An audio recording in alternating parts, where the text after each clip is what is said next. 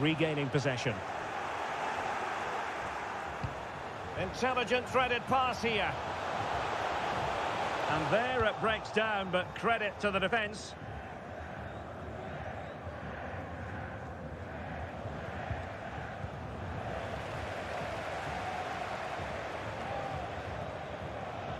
An encouraging move from Dortmund. Opportunity here.